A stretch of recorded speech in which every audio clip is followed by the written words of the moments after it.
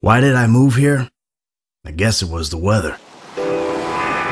Or the—I ah, don't know, that thing. That magic.